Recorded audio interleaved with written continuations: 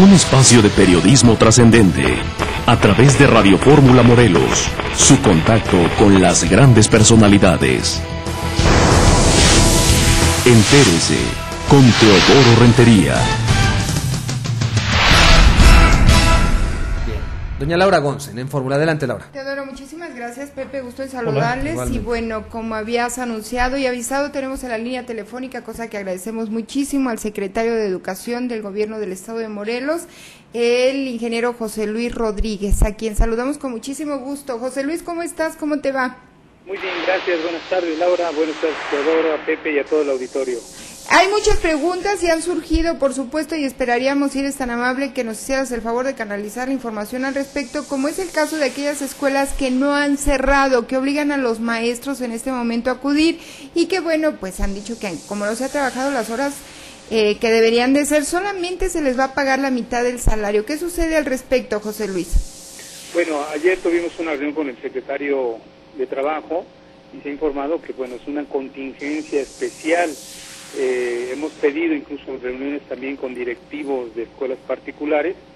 Eh, la mayoría ha entendido cómo está la situación. De cualquier manera estamos al pendiente de aquellas escuelas que pudieran estar obligando a esto. Nosotros hemos pedido también que las áreas administrativas puedan continuar con trabajo. Aquí el objetivo es eh, que no haya concentraciones por largo tiempo como ocurre en las escuelas con los menores, con los alumnos y también con a veces los, los mismos maestros. La intención es eh, que podamos cortar el contagio, que mejor se retienen a casa. Nosotros le hemos pedido que en este sentido sean prudentes, que analicen bien la situación y los mismos maestros pudieran hacer alguna, un trabajo, si es que queda pendiente, pues se lo pueden llevar en casa. Claro. Cuando se integren van a tener que regar con un trabajo ya elaborado o pendiente que tengan que entregar a sus mismos directivos. José Luis, entonces no es obligación que vayan los maestros a la escuela, es necesario que se mantengan en casa de preferencia lo, prudente y de acuerdo a la Secretaría de Salud, y yo he hablado con el secretario también, respecto a esta duda que ha surgido, lo más eh, prudente es que mejor todos estén en casa. Si tienen un trabajo que tienen que entregar en un momento, creo que lo pueden hacer allí en, la casa, incluso la mayoría, sobre todo en escuelas particulares, tienen internet, pues ahí podían entregar todo el trabajo que hay pendiente, revisión, se lo pueden llevar también a sus hogares y ir avanzando en estos días. Yo creo que lo más prudente es eso en algunas nos han dicho, bueno, el área administrativa es poca gente, está aislada, cada quien en su oficina, bueno, pues ahí yo creo que no habría ningún eh, inconveniente en continuar con sus labores. La pregunta que surge, estamos platicando con José Luis Rodríguez, quien es secretario de Educación del Gobierno del Estado, la pregunta que surge es, a lo mejor no voy y me sancionan, me quitan el trabajo, no me van a pagar, ¿todo esto ha quedado aclarado? Sí, yo, yo creo que eh, en ese sentido estamos en una situación muy especial de alerta, hay que estar pendientes de las informaciones. Aquí lo que se pretende es eh, cortar un probable contagio, ya no que no pudiera avanzar, que afortunadamente en el Estado, de acuerdo a lo que dice la Secretaría de Salud, pues está contenido ahorita.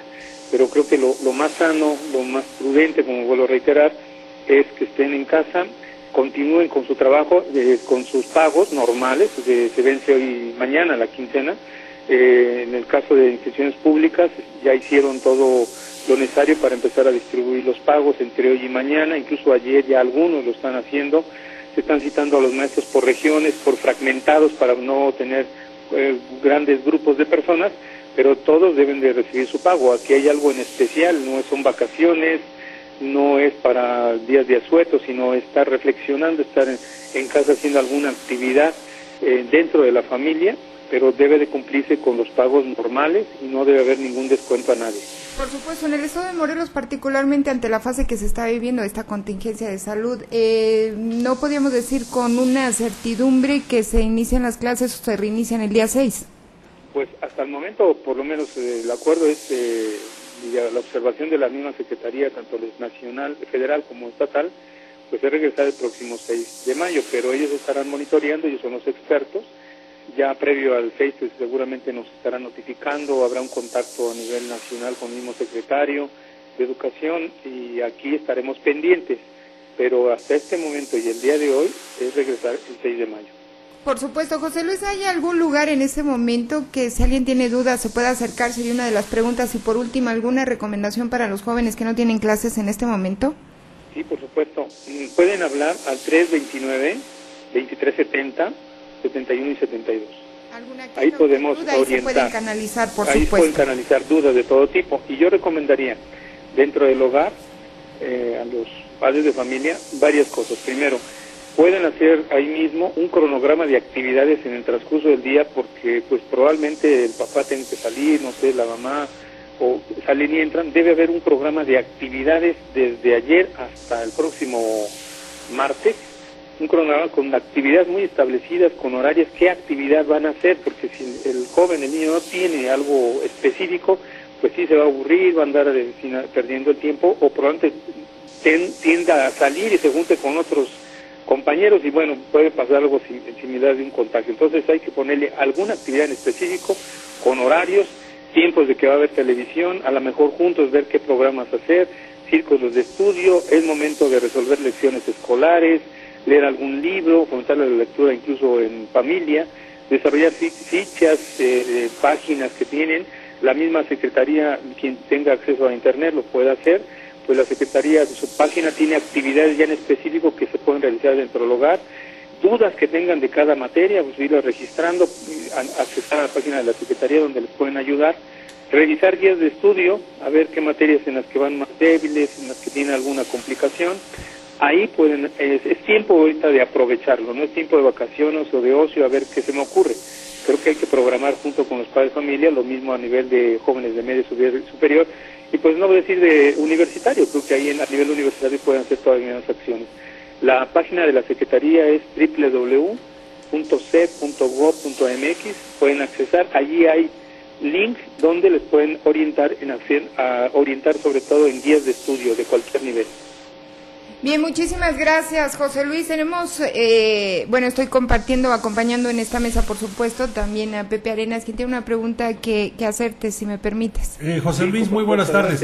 Eh, quiero preguntarte, ¿qué posibilidad hay de que se abran las bibliotecas para recoger libros directamente ahí contra una credencial que identifique a la persona para llevar lectura a la casa? Porque son siete días que se pueden aprovechar muy bien para eso. Exacto, pues tú que eres aficionado a la lectura o que compartimos ese, ese gusto, pues yo creo que es buen momento para fomentar dentro del hogar este tipo de cosas.